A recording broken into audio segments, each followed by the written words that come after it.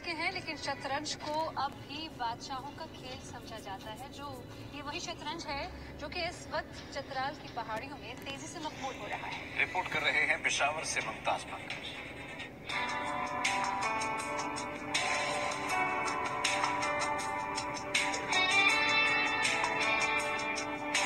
जिसने दिमाग इस्तेमाल करके चाल चली, वो मुकद्दर का सिकद्दर बन गया। जिसने जल्दबाजी की, वो शिकस्त से दुचार हुआ। ये है शतरंज के असूल, जो है तो बादशाहों का खेल। मगर अब दरबारों से निकलकर ये चतराल की वादियों में खेला जाने लगा है।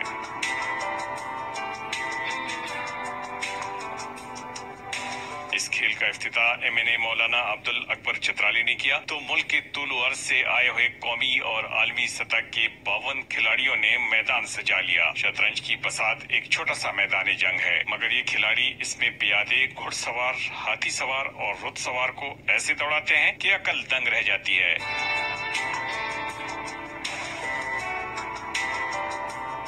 इस खेल में उम्र की हद है और ना ही फिटनेस की। जिसका दिमाग ताज़ा है तो वो सबसे तेज खिलाड़ी है। इसलिए पंजाब से ताल्लुक रखने वाला बयासी साल खिलाड़ी भी कामयाबी से इस टूर्नामेंट में इन मोहरों से खेल रहा है। इस टूर्नामेंट के चार राउंड मुकम्मल हो चुके। अब पाँचवें राउंड में फैसला होगा कि फातेह कौन है। मुमताज़ बंगश 92 न्यूज़, पिशावर।